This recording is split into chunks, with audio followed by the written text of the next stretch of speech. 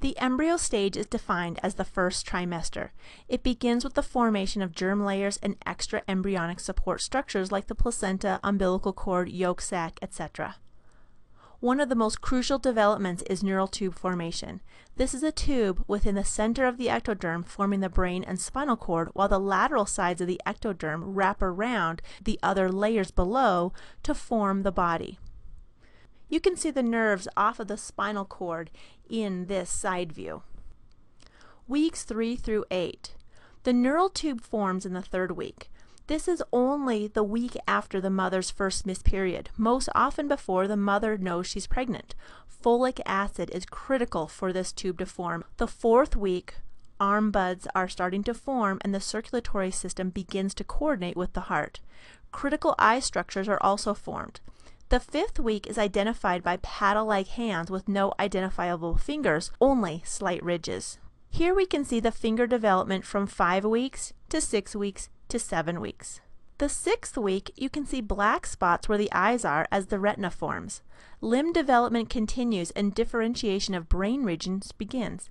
The seventh and eighth weeks begin to appear more baby-like as the limbs look more normal, ears are seen, and the tail bud is gone. The nervous system begins to operate as the embryo starts to make jerky type movements sporadically.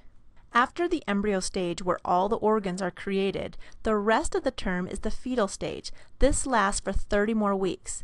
This time is focused on growth, specialization of body structures, and organs.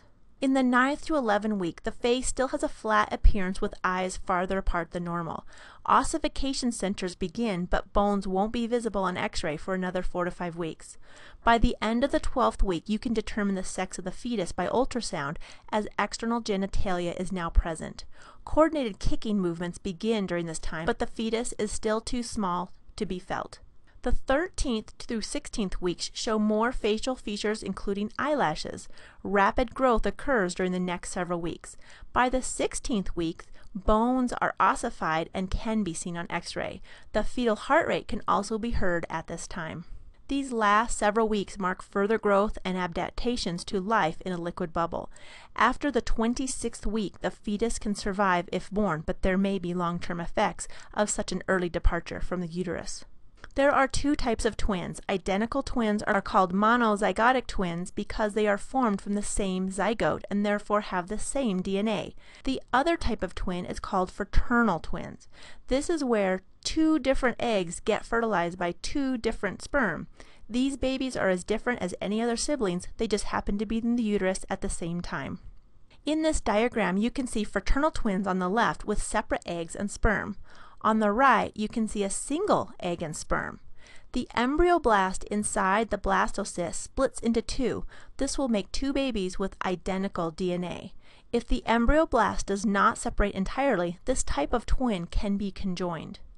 Identical twins share a placenta and chorion but have separate amniotic sacs. Fraternal twins are entirely separate with their own placenta, their own chorion, and their own amniotic sacs. These babies are not different than any other brother and sister except for they just have the same birthday.